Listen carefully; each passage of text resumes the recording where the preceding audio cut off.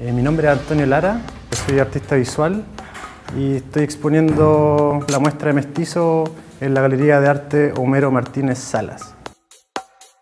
Decidí estudiar licenciatura en artes visuales en la Universidad Católica de Temuco en la Araucanía. Ahí ya definitivamente se cuajó mi interés por las artes visuales en general y exponer como una idea, una visión sobre las cosas a través de, lo plástico visual.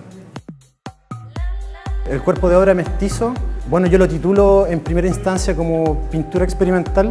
Trata sobre esgrafiado sobre PVC. El esgrafiado básicamente tiene que ver con el raspar una superficie y dejar expuesto lo que está más abajo. Es una técnica que proviene del, diseño y como ya dije, consiste en raspar.